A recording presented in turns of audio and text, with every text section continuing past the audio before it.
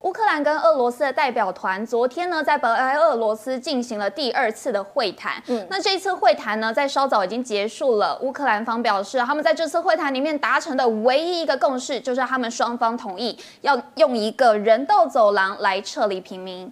乌克兰和俄罗斯的战事持续延烧，双方于台湾时间四日凌晨结束第二轮的谈判，同意开辟人道走廊来撤离平民。俄国代表团负责人梅丁斯基更表示，有可能在走廊周边实施停火。他形容这是重大的进展。不过，乌克兰总统府顾问波多利亚科表示，很不幸的，乌方尚未赢得所需要的结果。他也说明，双方可能会尽快再展开第三轮的和谈。好，那乌克兰的总统泽伦斯基呢，在当地的三号也有向普丁喊话了。他就说呢，希望双方可以进行直接的对话。那他也认为说，这是终结战争的唯一方式。那同时，他也呼吁西方国家，希望可以增加对于乌克兰的援助，否则呢，波罗的海的三小国恐怕会成为下一个乌克兰。据法新社报道，泽伦斯基在三号的记者会上表示，他希望能够尽快和普京直接对话，因为这是停止这场战事的唯一方式。那同时也向普京喊话说：“我们没有要攻击俄罗斯，也不打算攻击他。你想从我们这边得到什么？赶快离开我们的土地吧。”泽伦斯基也指出说，普京可以坐下来跟我一起谈判，但不要坐离我三十公尺外这么远的地方，因为我不会咬人。那普京也不需要感。到害怕，这句话呢就被说是趁机在暗讽普丁，因为他之前跟法国总统马克宏会面的时候，坐在了他著名的大长桌上接待对方。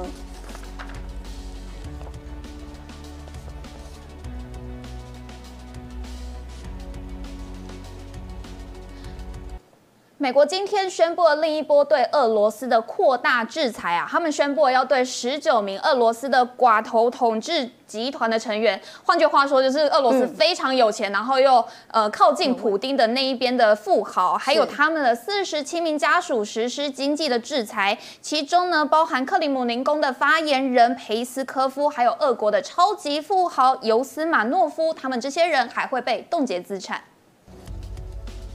美国今天宣布对俄罗斯的最新一波制裁，主要针对俄罗斯总统普京的八名亲信、跟他们的配偶、子女，还有旗下的企业。白宫表示，这项制裁瞄准更多俄罗斯的重要人士，还有他们的家庭成员，因为他们在普京残酷的入侵乌克兰之后，仍然选择继续支持普京，负责提供普京入侵乌克兰所需的资源。而这一波制裁名单包括了俄国超级富豪尤斯马诺夫，他是普京的。亲密盟友，这项禁令将禁止他的财产在美国成为美国人使用。另外，克里姆林宫发言人佩斯科夫也在这一波制裁名单当中，因为他是普丁宣传的主要散播者。这波制裁名单包括十九名俄罗斯寡头集团成员，还有他的四十七名家属以及亲密伙伴。美国将对他们执行签证限制。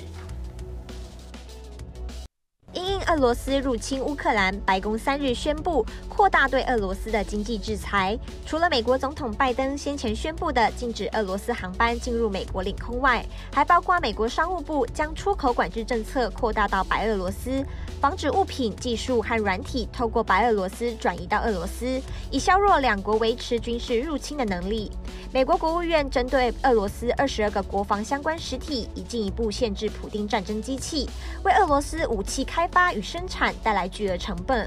同时，美国也对俄罗斯炼油业进行管制，透过石油与天然气开采设备的出口管制，削弱俄罗斯的炼油能力，降低其军队的主要收入来源。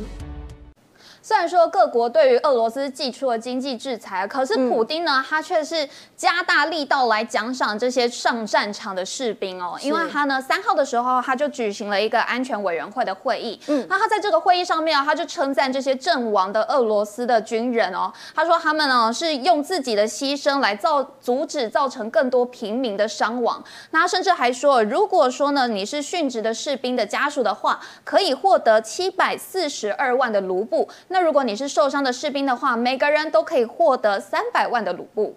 俄罗斯总统普京三日召开会议，对着镜头侃侃而谈。他说明，这次乌俄交战至今进入第九天，一切的军事行动乃是严格按照计划进行，自己将永不放弃乌俄两国是同一民族的信念，并针对此次参与交战的士兵给予巨额的抚恤。据了解，殉职士兵的家属可获得 七百四十二万卢布，约新台币一百八十九万元；受伤的士兵每人则可拿到三百万卢布。好，其实这个战争开打最可怜的就是这些平民百姓了。对，因为呢，不仅就是生活过得非常的辛苦，也非常的危险，所以呢，就有这个富豪啊，是俄罗斯的富豪，他就是看不下去了，他就发了一篇文呢，说要悬赏普丁的人头，他寄出了一百万的美元，大概就是新台币的两千八百万。他说呢，要悬赏普丁的向上人头，并且呼吁军官要将普丁当作战犯逮捕。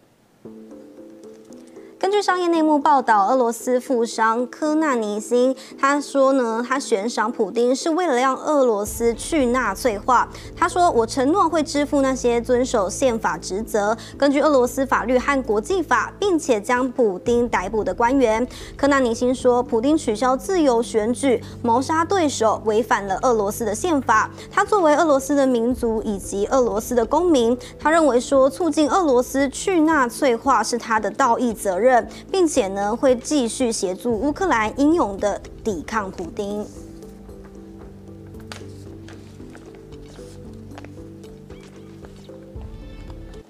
好，其实现在网络上也有非常多的资讯跟影片都传出来了。是，那其中呢，也有不少是这个俄罗斯的战俘被就是呃的一些影片给抓住了，这样。是，那这些影片非常的多，可能有一些他们呃哭着找妈妈的，或者是被乌克兰人送上热茶的一些影片，也是引起了大家的讨论。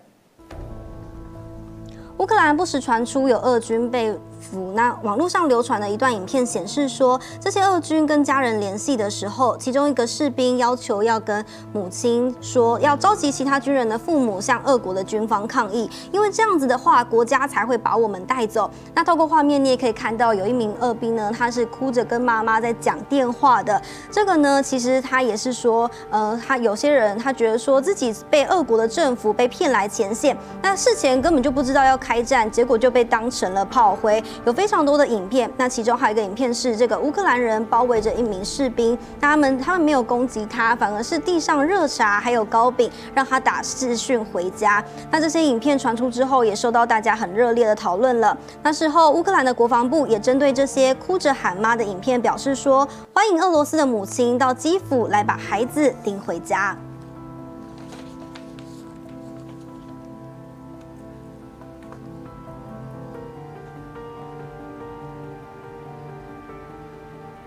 我刚刚看到网友安琪拉，他说感觉今天俄军的攻击力道更强了。那刚刚珊珊跟大家说，这个俄罗斯有一个富豪是出了高额的赏金，要悬赏那个普丁的向上人头嘛。有很多人问说，那个富豪应该会先被射杀吧？因为其实虽然说现在各国对普丁制出了这个经济制裁，可是呢，好像普丁还是没有很害怕。哎，是。那现在呢，其实不只是经济制裁，还有更多跟体坛方面也是提出了对于俄。俄罗斯的制裁了，没错。现在大家呢，就是呃多方的想要制止普丁再继续这样攻打下去。像是呢，这个呃国际的帕拉林匹克委员会，他之前其实是允许的，他允许说俄罗斯跟白俄罗斯的选手他们可以出战二零二二的北京帕运。那这个消息传出，就遭到大家的骂声啦，就觉得说，哎，为什么可以？我们应该要就是多方的去抵制他。所以呢，他们也重新讨论了一次，在三号的时候就召开特别的会议，那决策是大转弯的哦。他说呢，根据他们。们的官网声明，他们决定要禁止来自俄罗斯还有白俄罗斯的运动员参赛，就等于说这两个国家的呃运动员呢是没有办法参加二零二二的北京帕运。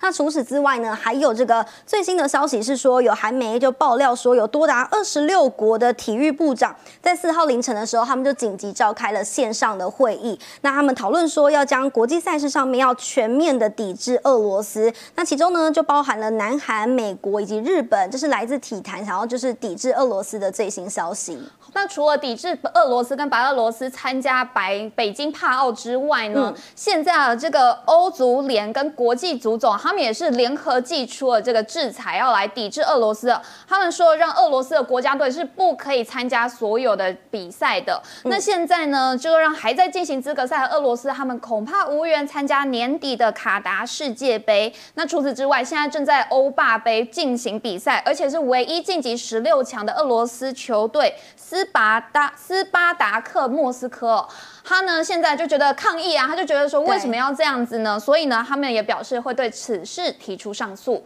这是我们今天收到关于这个体坛的抵制的消息。